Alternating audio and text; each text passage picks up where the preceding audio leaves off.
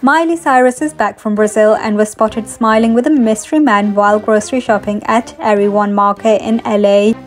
The singer was seen beaming while a man was seen standing in front of her trolley, trying to use his body to stop her purse from falling off. Miley, who was born Destiny, wore an all black outfit which included crop blazer, matching top, and leggings. Her hair was up in a messy bun and she added a pair of sunglasses.